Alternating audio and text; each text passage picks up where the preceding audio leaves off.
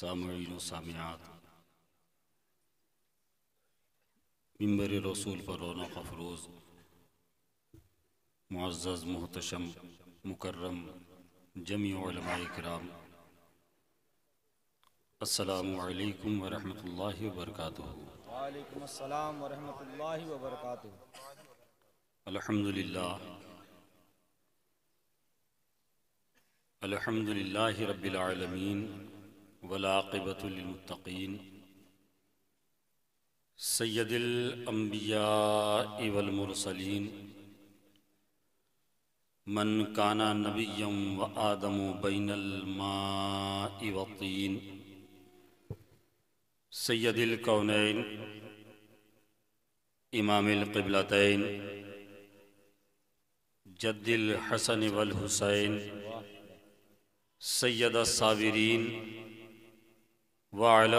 तय्यबीन ताहिरीन।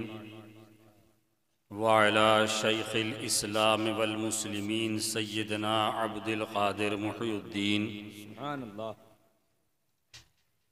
वाला सैदिल अलिया वलील हिंद सैदना मुइनुद्दीन।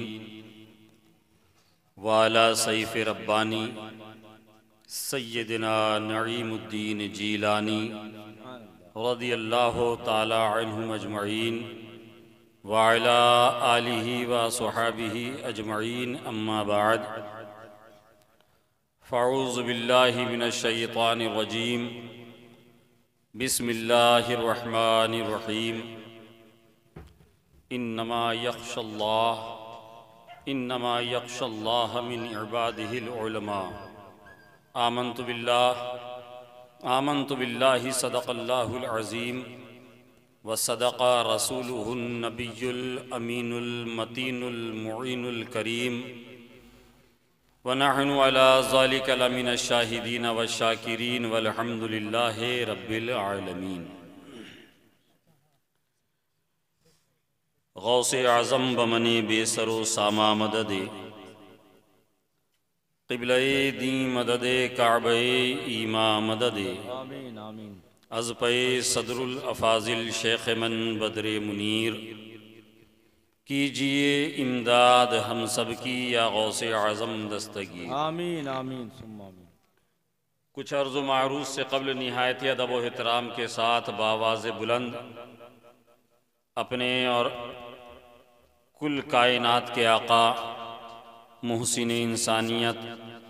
पैगंबर आज़म सल्लल्लाहु ताला अलैहि वसल्लम की बारगाह बेकस पनाह में दरूदों की डाली मोहब्बत की थाली में सजाकर पेश करें पढ़ें बावाज बुलंद दरू शरीफ। अल्लाहुम्मा सल्ली अला अल्लाहुम्मा सल्ली अला सय्यदना शफीना हबीबना नबियना मौलाना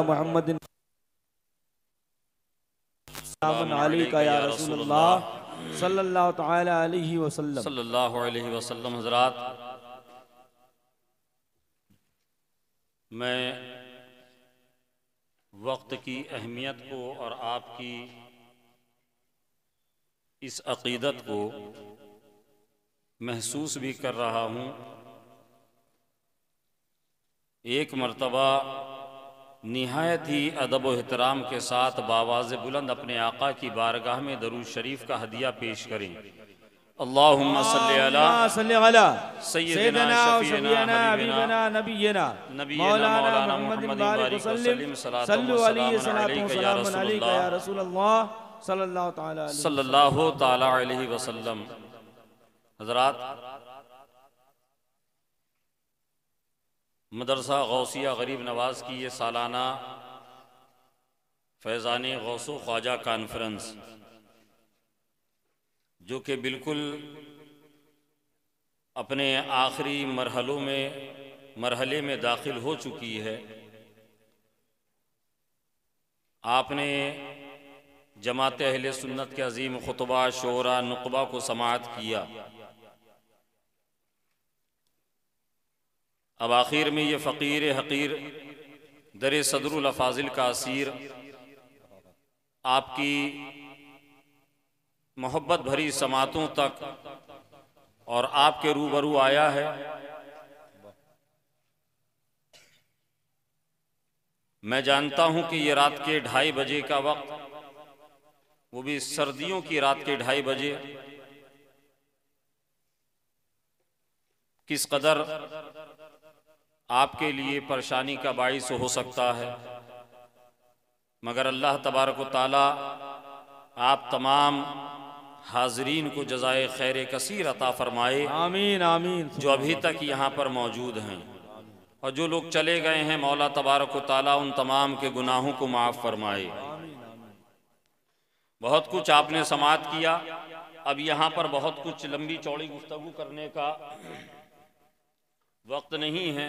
अब ये समझ लीजिए कि ये हमारे नकीब अहल सुन्नत हज़रत हाफिज़ जुनैद रज़ा हबीबी बर्क साहब अगर इनको इस वक्त जमाई आ रही है और इनको अगर नींद का गलबा इन पर तारी हो रहा है तो आपकी क्या कैफियत होगी? मैं महसूस कर सकता हूँ। कई कई रातें जागने वाला नकीब आपके सामने यहाँ मौजूद हैं। मुबारकबाद के लायक हैं मदरसा गौसिया गरीब नवाज़ के जुमला अरकान इस बिलखसूस अदीब शहीर हज़रत मौलाना अब्दुल वहाब सालिक भागलपुरी साहब, मोहतमी मदरसा, गौसिया गरीब नवाज़।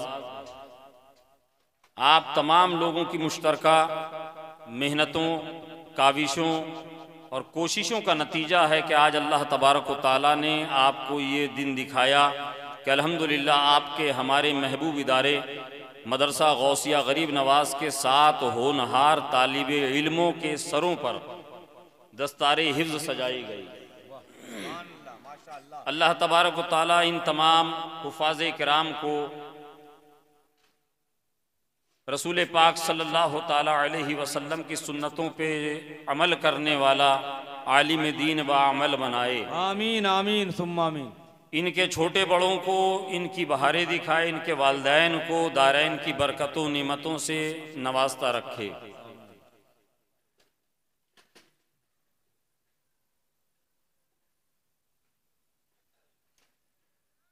ये सालाना दस्तारबंदी जो कि आपने मुलाहजा करी कराम की एक कसीर तादाद मिंबर शरीफ पे तशरीफ़ फरमा थी। और मैं तो कहा करता हूँ इन हाफिज कुरान को देख के कि जिन पे रसूल पाक का फैजान हो गया। सुभान अल्लाह सुभान अल्लाह जिन पे रसूल पाक का फैजान हो गया वो खुश नसीब हाफिज कुरान हो गया। वो खुश नसीब हाफिज। कुरान हो गया और खिदमत जो वालदेन की करते हैं रात दिन। खिदमत जो वालदेन की करते हैं रात दिन। अरे खुलदे बरी में जाने का सामान हो गया। जिंदाबाद बरी में जाने का सामान हो गया वाह वाह। खुलदे बरी में जाने का सामान हो गया। हजरात, जिस आयत मुकदसा की मैंने तिलावत का शर्फ हासिल किया, आप अच्छी तरीके से जानते हैं कि मैं इस वक्त आपसे बहुत लंबी चौड़ी तमहीदी गुफ्तगु नहीं करूँगा। चंद एक ज़रूरी इम्पोर्टेंट बातें। मौलाना अब्दुल वहाब साहब ने मुझसे कहा था कि हज़रत इस मरतबा ज़्यादा खुतबा को नहीं रखा है। इन आपका इस बार कम से कम एक घंटे का खिताब होगा। लेकिन रात के इस हिस्से में मैं भी आपके ऊपर एकदम मुसलत नहीं होऊँगा। बस थोड़ी देर में इंशाल्लाह अपनी गुफ्तगु तमाम करूँगा, फिर हम और आप मिलकर सभी अपने आका की बारगाह में सलात सलाम का नजराना पेश करेंगे। अल्लाह तबारक ताला कुरान अजीम में इरशाद फरमाता इन नमा इबादिहिल अल्लाह तबारक ताला से बेशक इल्म वाले ही डरते हैं। बेशक अल्लाह तबारक ताला से इल्म वाले ही डरते हैं। ये इस आयत करीमा का मतलब मफहूम और तर्जुमा, जिसकी मैंने तिलावत की।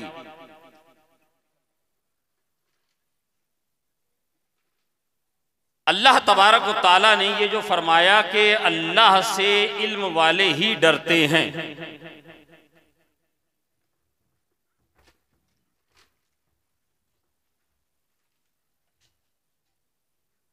अल्लाह से इल्म वाले ही डरते हैं। ये मदरसे का सालाना दस्तारबंदी का प्रोग्राम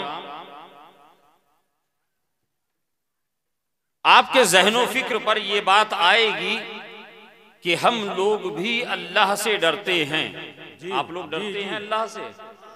कौन डरता है? जरा हाथ उठाकर बताइए। माशाल्लाह। सभी लोग यहाँ अल्लाह से डरते मगर यहाँ पर अल्लाह तबारक ताला ने अहले इल्म का इल्म वालों का ज़िक्र किया है। इल्म वालों का ज़िक्र किया है। अब ये इल्म वाले कौन हैं? ये इल्म वाले कौन होते हैं? क्या बात है वाह। ये इल्म वालों की इन इल्म वालों की पहचान और शनाख्त और आइडेंटिफिकेशन क्या हो? क्या मदरसे में सात साल नौ साल पढ़ने वाला ही इल्म वाला है? क्या बात है। क्या मदरसे के अंदर दस बारह साल अपनी ज़िंदगी के कीमती गुजारने वाला सुबह शाम मदरसे की चटाई पर बैठकर किताबें पढ़ने वाला, रातों को जागने वाला और किताबों को याद करने वाला ही इल्म वाला है। सात साल, दस साल, नौ साल किसी ने वक्त गुजारा मदरसे में। एक एक फुट की उसके पास सनद ज़रूर आ गई। इल्म वाला कौन है? अगर उसने सात साल, आठ साल, नौ साल, दस साल, बारह साल मदरसे में गुजारे और उस इल्म के ऊपर न उसका खुद का अमल हुआ, न उसका खुद का अमल हुआ, न वो उसका इल्म दूसरों को फ़ायदा पहुँचा सका। आका करीम सल्लल्लाहु अलैहि वसल्लम इरशाद फरमाते हैं, मुसलमानों इल्म वाले वो हैं जिनके इल्म से वो भी फ़ायदा उठाएँ और उनके इल्म से जमाना फ़ायदा उठाए। अल्लाह आप कहेंगे हज़रत वो कैसे? तो मैं आपको बताऊँ हदीस पाक का मफहूम है जिसको हज़रत सैदना उस्मान जुन्नूरैन रदी अल्लाह ताला ने बयान किया। बुखारी शरीफ की हदीस पाक का मफहूम है। जिंदाबाद जिंदाबाद वाह। ये मैं अपनी तरफ़ से नहीं कह रहा हूँ, आपके जहन में अगर ये बात आए।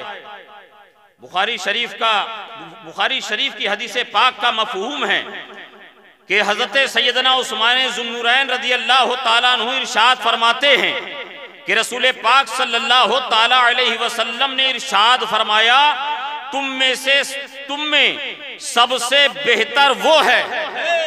तुम में सबसे बेहतर वो है।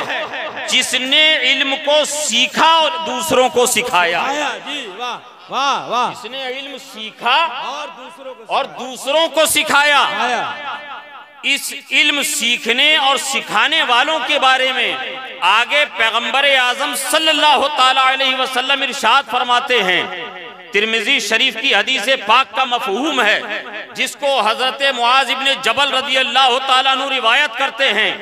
क्या करीम सल्लल्लाहु अलैहि वसल्लम इरशाद फरमाते हैं? ये यहाँ पर सात हुफाज कराम बैठे हुए हैं। इनके वालदेन मुबारक के हकदार हैं, जिन्होंने अपने दस्तरखान से रोटी और खाने को काटा और वहाँ से पैसों को बचाकर अपने बच्चों को इल्म दीन और कुरान अजीम को अपने सीने में महफूज करने के लिए खर्च किया। अल्लाह। खर्च किया।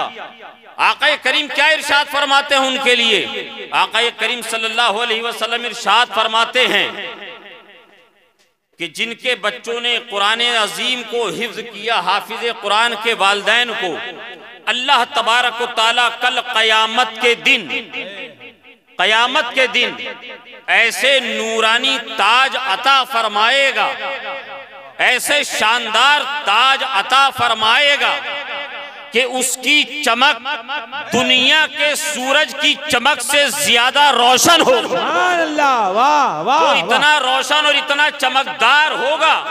इसके बारे में मुहदसिन फरमाते हैं कि वो इस कदर रोशन होगा कि गोया आप ये समझ लीजिए कि ये दुनिया का सूरज हज़ारों किलोमीटर के फासले पर हमारे और आपके दरमियान से है।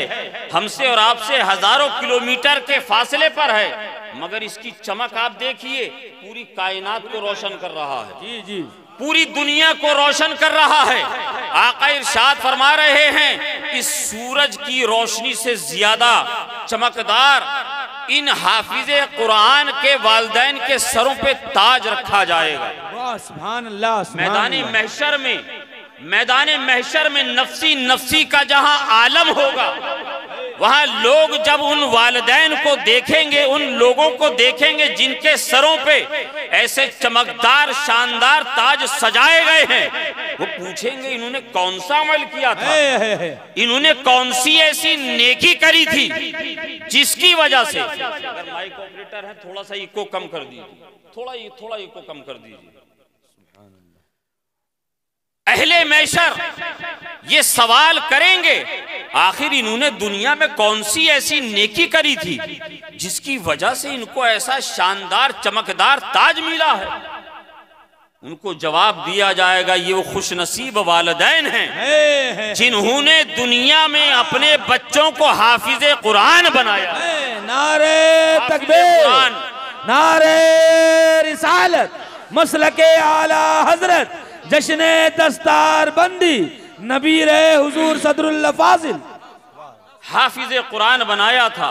हज़रत, ये अहले इल्म की शान है।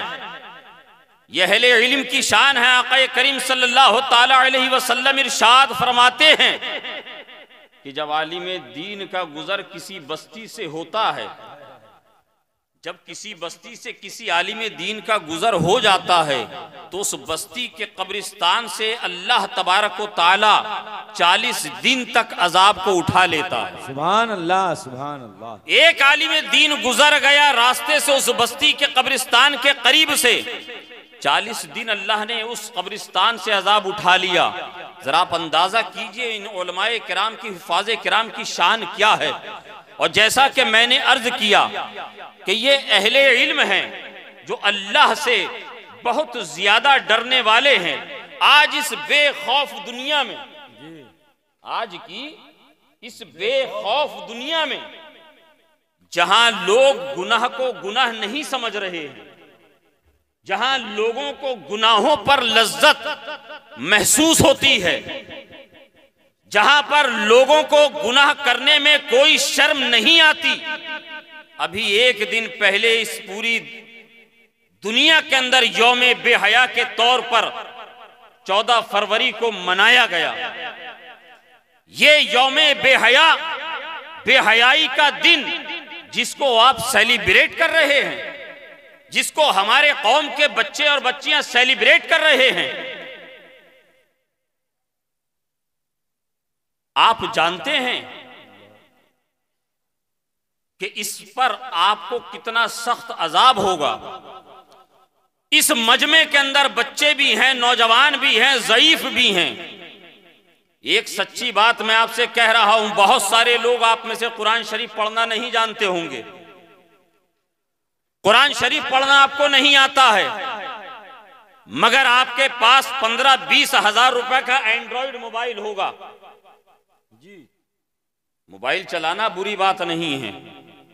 अगर मोबाइल चलाना बुरा होता तो सबसे पहले हमारे ओलमा इसको छोड़ देते।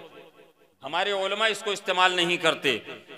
मगर उसका गलत इस्तेमाल गलत बुरा है। उसका इस्तेमाल आप कैसे कर रहे हैं? आज से पाँच, सात साल पहले, दस साल पहले तक हमारे यहाँ पर लोग फसाद बुक और व्हाट्सएप को नहीं जानते थे। छोटे छोटे मोबाइल नोकिया के। दूसरी कंपनियों के लोग चलाते थे सिर्फ़ उस पर काम था उनका फ़ोन आना रिसीव करना और कॉल करना। जी। यही काम था। जब ये एक इनकलाब आया जब दुनिया तरक्की की राहों पर गामजन हुई साइंस और टेक्नोलॉजी ने तरक्की करी अल्लाह ने इंसानों को उरूज अता किया। ये एंड्रॉयड मोबाइल वजूद में आए।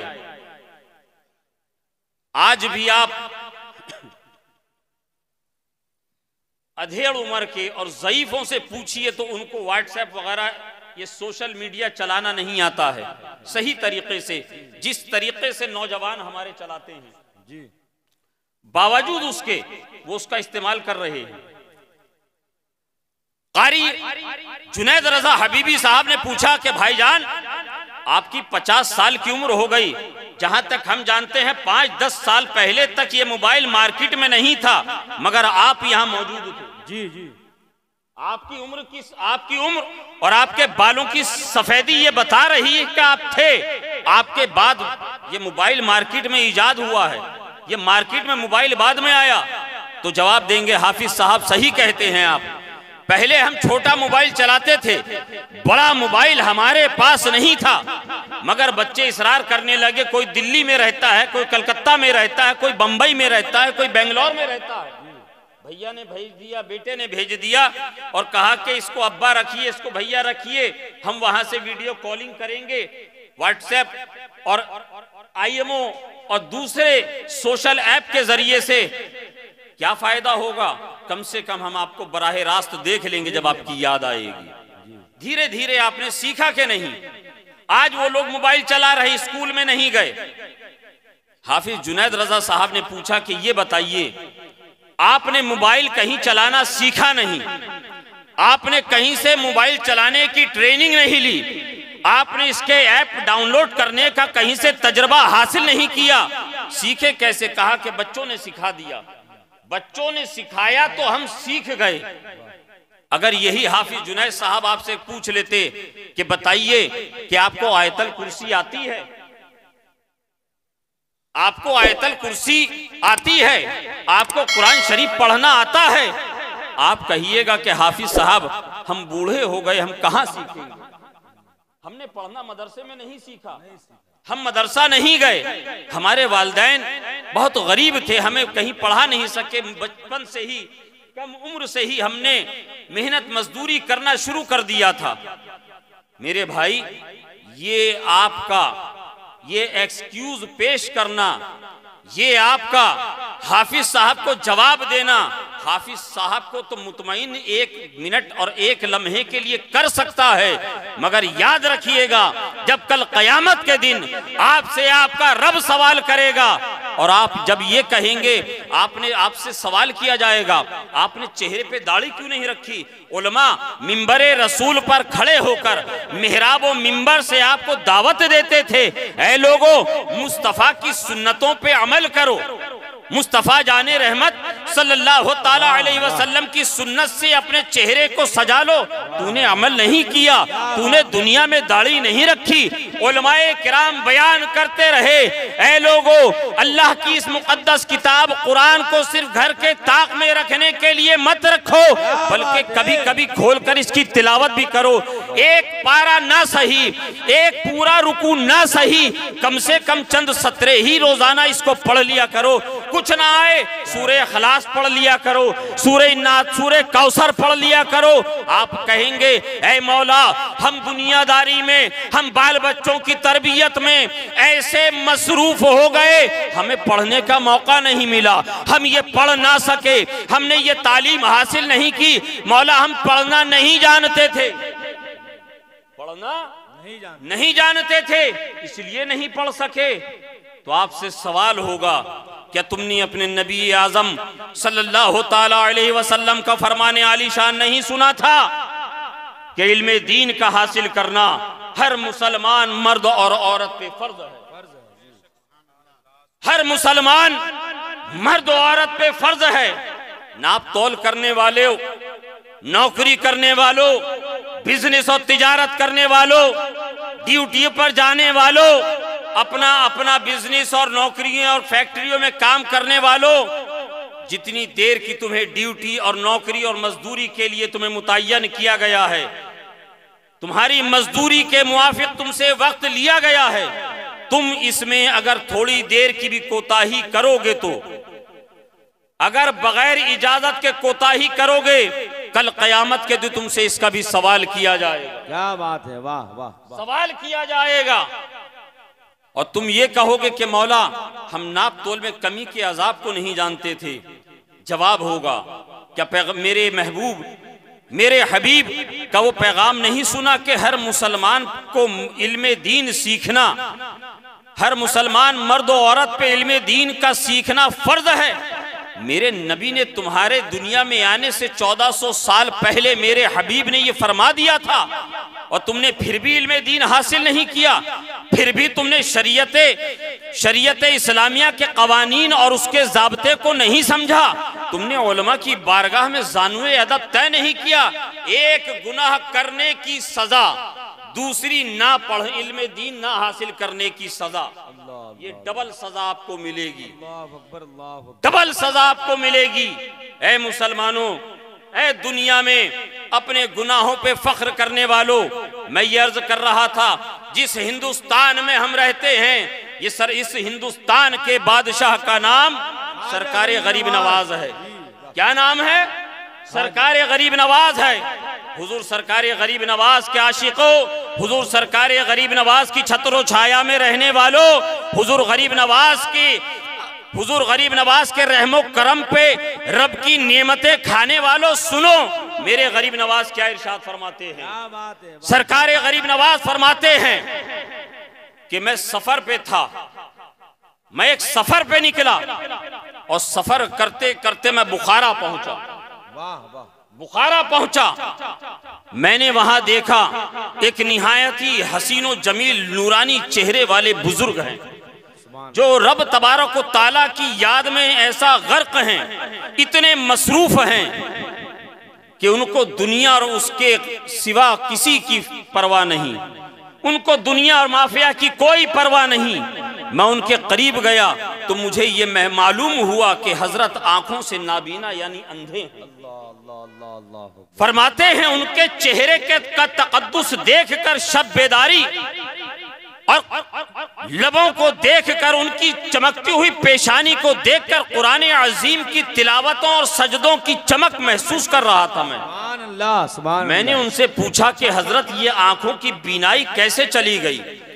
ये आँखें आपकी कब से अंधी हो गई, कब से आप नहीं देखना चाहते, नहीं देख पा रहे हैं। ऐ सरकारी गरीब नवाज़ रदी अल्लाह तला के मुल्क में रहने वालों, और आप जानते हैं, अभी सोशल मीडिया का जमाना है। इसी साल, इसी रजब शरीफ की पाँच और छह तारीख को, और उर्से सरकार गरीब नवाज़ से पहले, जहाँ अजमेर मोहल्ला के दयूस, मुजाविरों ने गुंडों ने आला हज़रत इमाम अहमद रजा खान फाजले बरेलवी रहमतुल्लाह के लिखे हुए मशहूर जमाना सलाम को पढ़ने पर पाबंदी आयद करी। पाबंदी आयद करी। वही वहाँ के बेगैरत मुजाविर, दयूस मुजाविर खड़े होकर औरतों के साथ ढोलक के ऊपर नाचते हुए साफ़ नज़र आ रहे हैं। सरकार गरीब नवाज़ की बारगाह में मर्दो जन का खलत मलत कर रहे हैं।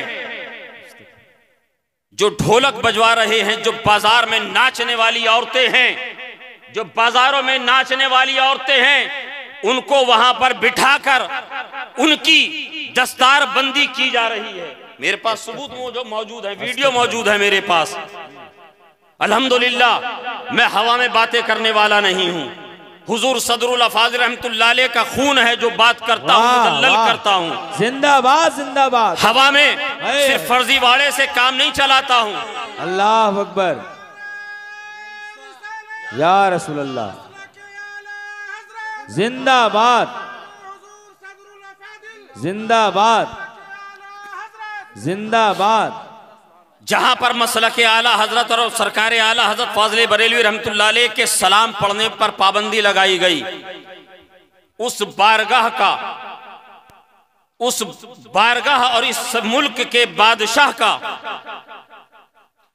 मैं किसी और की बात नहीं कर रहा हूँ, सरकार गरीब नवाज़ की बात कर रहा हूँ।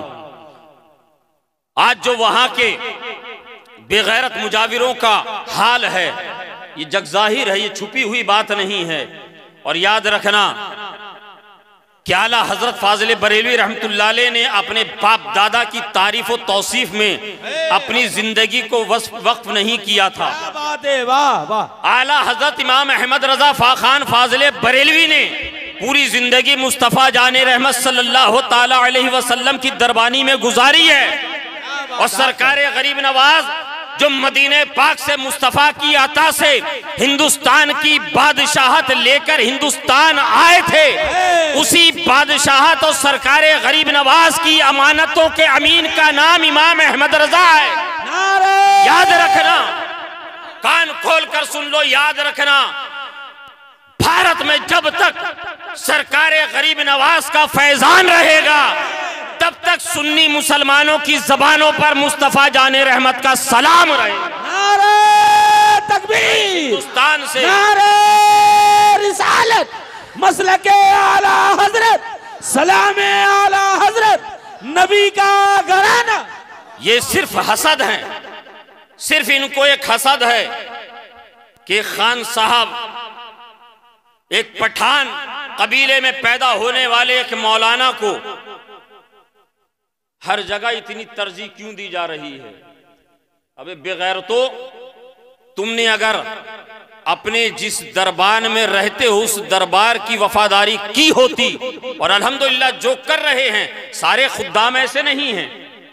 सारे खुदाम नहीं हम कई को ऐसे जानते हैं जिनका उठना बैठना सुन्नत रसूल के मुताबिक और मुआफिक होता है। बेशक बेशक। जिनको देखने के बाद जिनकी बारगाह में जिनके पास जानू अदब तय करने के बाद थोड़ी देर ही में आपके की दिल की दुनिया बदलती हुई नज़र आती है।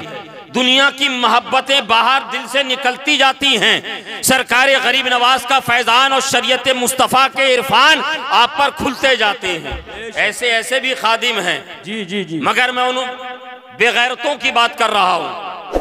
मैं उनकी बात कर रहा हूँ जो गांजा खोर हैं। मैं उनकी बात कर रहा हूँ जिनको पहले लोग खुले हुए नहीं बल्कि छुपे हुए राफजी शिया कहते थे जो सहाबी रसूल के गुस्ताख हैं।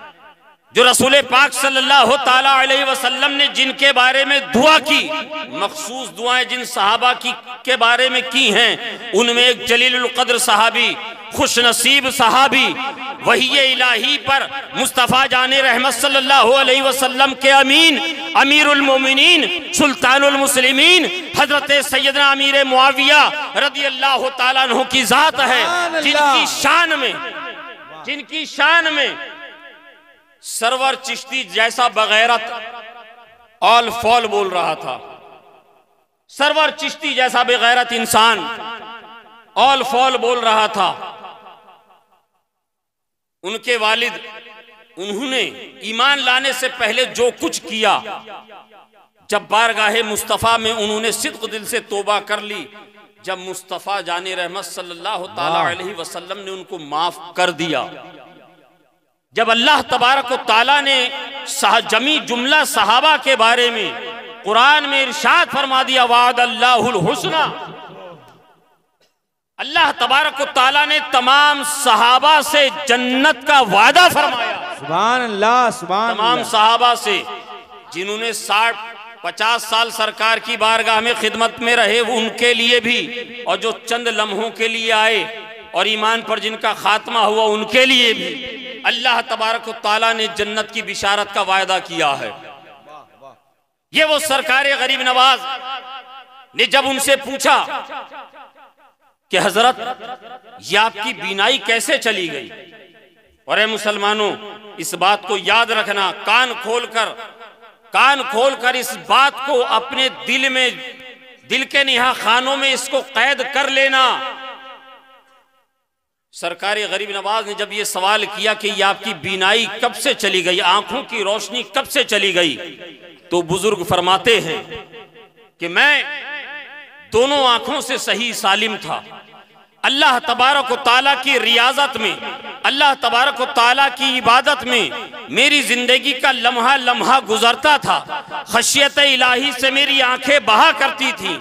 कुरान अजीम की तिलावत में खूब किया करता था। मैंने इतने नवाफिल और इतने फ़राइज़ पर अमल किया इतना किया बड़े तो बड़े गुनाह हैं। हत्ता के छोटे गुनाहों से भी मैंने जितनाब किया अल्लाह तबारक ताला का मुझ पर ऐसा फजल हुआ कि अनवार तजल्लियात मुझ पर आया होने लगे। मैं रब तबारक ताला के अनवार तजल्लियात को मुशाहिदा करता था। एक दिन बैठा था अपनी मसनत पे अपनी अपनी कयाम गाह पे बैठा हुआ था कि अचानक रास्ते से गुजरने वाली एक अजनबिया पर। एक अजनबिया अजनबिया पर मेरी अचानक नज़र पड़ गई। अचानक नज़र पड़ गई। हातिफे गैबी से आवाज़ आई ए हमसे मोहब्बत का दावा करने वाले दावा तो हमारी मोहब्बत का करता है और देखता किसी और को। दावा हमसे मोहब्बत का करता है। देखता किसी और को है।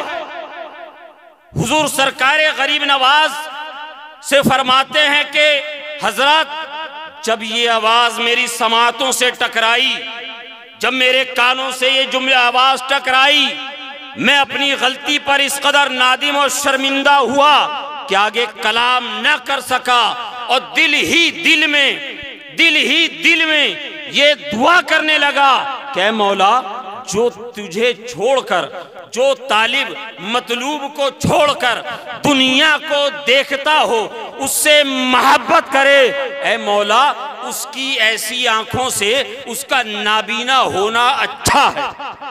नाबीना होना अच्छा है। फरमाते हैं कि मेरे जुमले अभी पूरे नहीं हुए थे कि मेरी आँखों की बीनाई खत्म हो गई। मैं नाबीना हो गया। मैं नाबीना हो गया।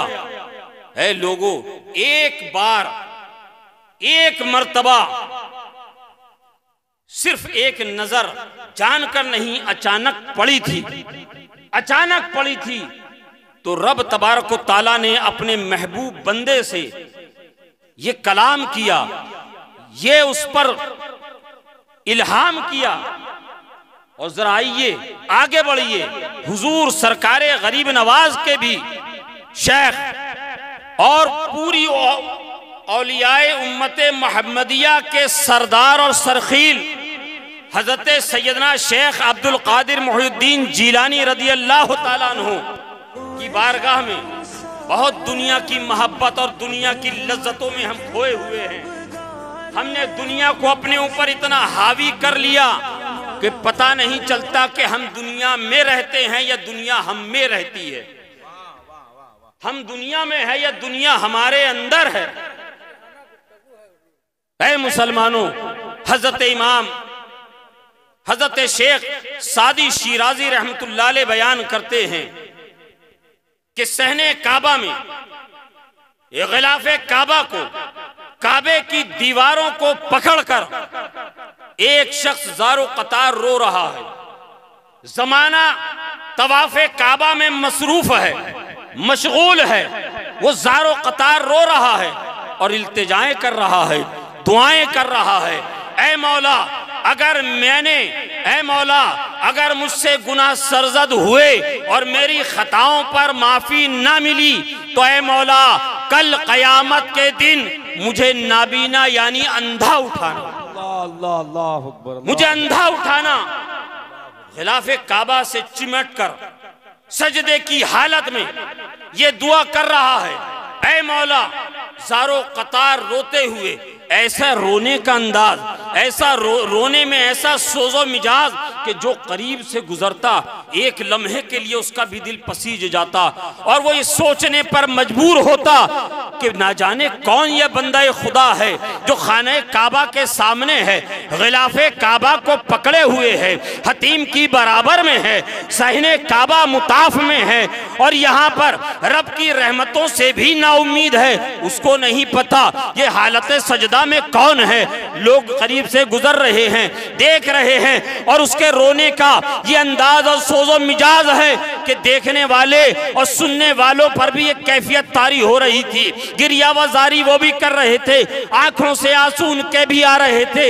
इतने में एक शख्स ने हिम्मत करी, उसके करीब जाने की, सोचा कि थोड़ी तसल्ली दे दी जाए, थोड़ा दिलासा दे दिया जाए, उनके करीब जाकर उसको ये एहसास कराया जाए, क्या इनसे गुनाहों पे नादिम होने वाले इंसान, अपने गुनाहों पे नादिम होने वाले शख्स, तू रब की बारगाह में है, तू खाना काबा में है, तू हतीम काबा में है, तू रब की रहमतों से ना उम्मीद ना हो, ये किसी दुनियादार का नहीं, बल्कि ये परवरदिगार का फैसला है कि रब की रहमतों से ना उम्मीद ना होना सजदे की हालत में है, गिलाफ काबा को पकड़े हुए है, जाकर कंधे पर कंधे पर दस्तक दी, हाथ रखा कि ताकि मेरी मौजूदगी का इनको एहसास हो जाए। और ये अपनी पेशानी को, अपने चेहरे को सजदे से उठाएँ तो मैं इनसे कुछ गुफ्तगु करूँ। हज़रत शेख सादी शिराजी रहमतुल्लाह फरमाते हैं, जब उस शख्स ने सजदे की हालत में गिरिया वजारी करने वाले बुज़ुर्ग के कंधे पर, शाने पर हाथ रखा तो उनका रोना बंद हो गया। रोना बंद हो गया। अपने आंसुओं में भीगी हुई रीश दाढ़ी और चेहरे को जब ऊपर उठाया तो जो तसल्ली देने के लिए आया था एक चीख मारी और वो खुद वहीं बेहोश हो गया। क्या बात वही बेहोश होकर गिर पड़ा।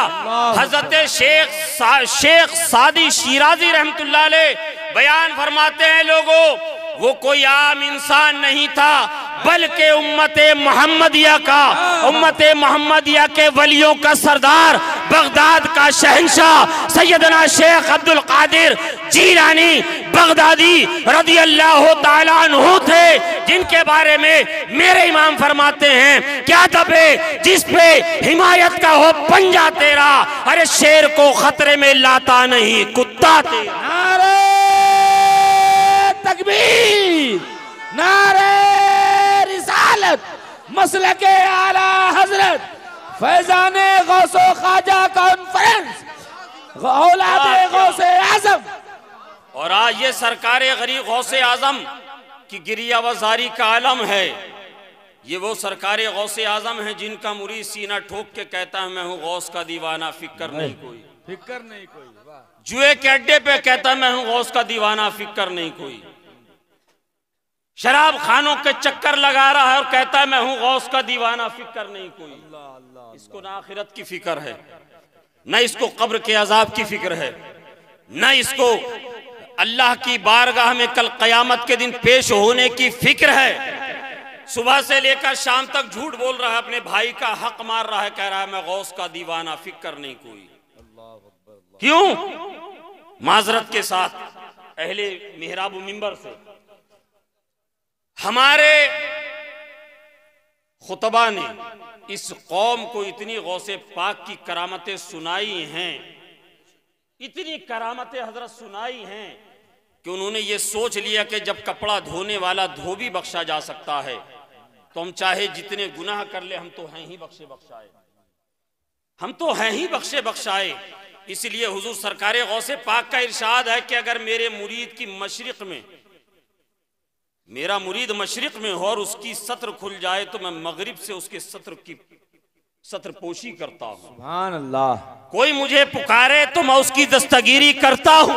यकीनन मेरे गौस का फरमान है और मेरे गौस करते हैं। आज भी जो दिल से पुकारते हैं मेरे गौस उसकी इमदाद को आते हैं। मेरे गौस उसकी मदद करते हैं। मगर तुमने ये सोचा है कल कयामत के दिन जब तुम अपने दादा पीर की बारगाह में पेश किए जाओगे जब तुम अपने दादा पीर की बारगाह में पेश किए जाओगे तो तुम ये गुनाहों में मुलविस अपने किरदार और नाम अमाल को किस मुँह से सरकार गौसे आज़म की बारगाह में पेश करोगे? अल्लाह अल्लाह अल्लाह। तुम कैसे मीजान अमल पे अपने अमाल को पेश करके ये कहोगे कि मैं हूँ गौस का दीवाना? हुक्म होगा क्या तूने अपने पीरो मुर्शिद के। क्या पीरो मुर्शिद के अपने कौल को नहीं पढ़ा था? कि हुजूर सरकार गौसे पाक फरमाते हैं कि मैंने जब जमाने तालिब इलमी में बगद जीलान से बगदाद का सफ़र किया था मेरी वालदा जब मुझे खर्चा भेजा करती थी जो मेरे पास पैसे आते थे मैं फ़ुकरा गुरबा और मसाकिन में तकसीम कर देता था। तकसीम कर देता था जी। खुद कई कई दिन तक फाके करता था भूखा रहता था और इल्म दीन हासिल करता था। जब भूख शिद्दत इख्तियार कर लेती थी हुजूर गौसे पाक फरमाते हैं मैं बगदाद के बियाबानों में चला जाता जंगलों में चला जाता वहाँ के दरख्तों के पत्तों को खाता। फरमाते हैं मैं खंड रात में चला जाता बगदाद के। जो लोग बचा हुआ खाना वहाँ पर छोड़ आते थे बासी सूखा खाना।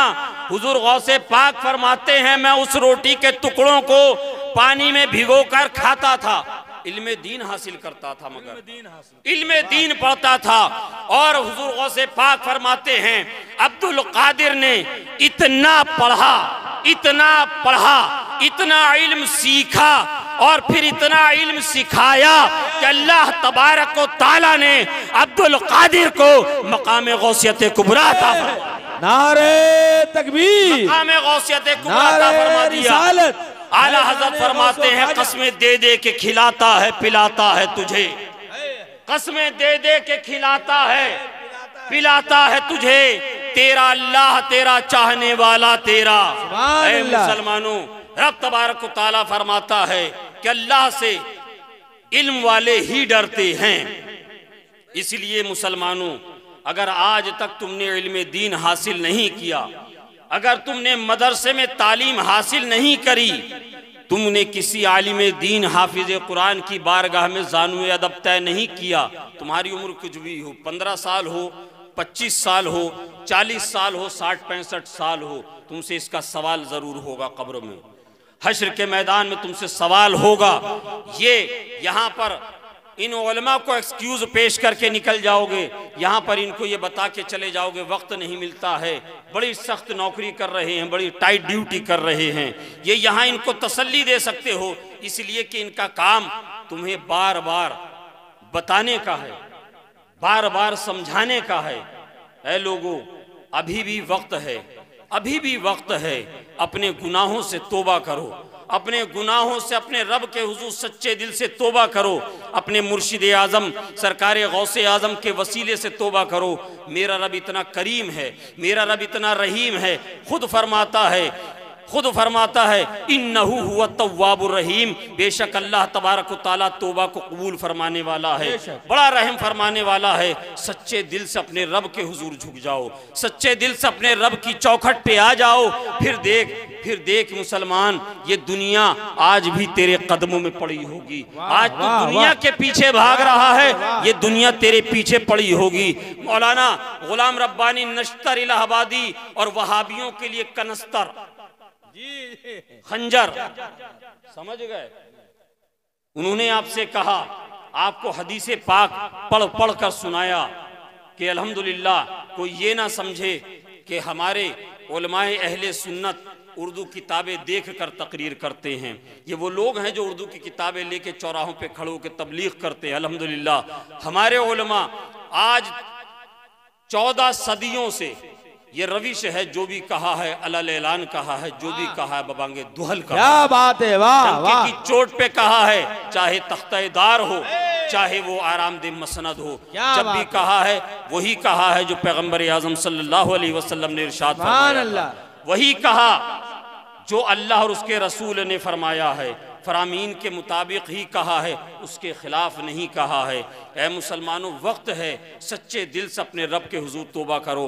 आइए हम और आप मिलकर सच्चे दिल से अपने रब के हुजूर तोबा करते हैं, मिलकर पढ़िए, अस्तगफिरुल्लाह।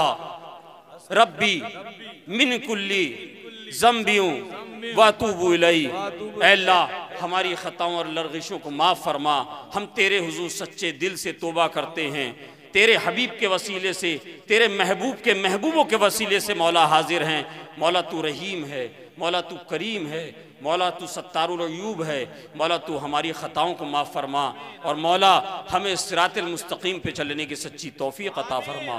मौला हमें दुनिया और आखिरत में हुजूर की ग़ुलामी के जामे में मौला तबारक ताला ऐसा रंग दे, मौला ऐसा रंग दे, मोहब्बत रसूल और सुन्नत रसूल में ऐसा रंग दे जैसा तू और तेरा हबीब चाहता है। आमीन। वाखिर दावाना अनिल हम्दुलिल्लाहि रब्बिल आलमीन। अस्सलाम